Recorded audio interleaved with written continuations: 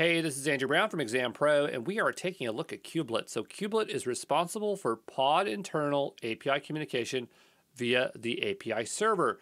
And Kubelet is a node agent that runs on every single node. Uh, that includes both control plane and worker nodes. Uh, and I know this because I took extra care to know because I wasn't sure for quite a while if it actually ran on uh, the control plane, but it does. So, what is an agent? Well, an agent is a program installed on a server to obscure what occurs for specific programs and to communicate information externally or trigger actions to be performed. Sounds kind of uh, very interesting. Um, so uh, here's an example of uh, cube. Uh, where is it? Kubelet. So here's our kubelet, and notice that it's on, inside of our worker node.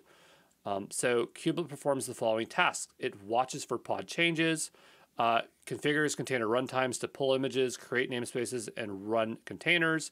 And Kubelet uses pod spec files to determine what images to pull and containers to run. So notice we have this pod spec file there, and then it knows uh, to deploy that container into that container runtime. But we are going to go even a bit deeper so we can see this because I have another uh, diagram that I created here uh, to try to make it even more clear and interesting. And now you'll see why we covered gRPC. So here's gRPC in a few different places uh, to show that that's where that communication is happening. So for pods, Kubelet will continuously monitor pods for any kind of changes.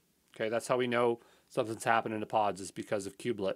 Kubelet will send back HTTPS requests to the API server uh, containers, uh, sorry, container logs and execution requests. So the logging information from your pods, uh, Kubelet's the one that sends that stuff along. Um, for storage, Kubelet can interact with storage through the container storage interface, CSI, using gRPC.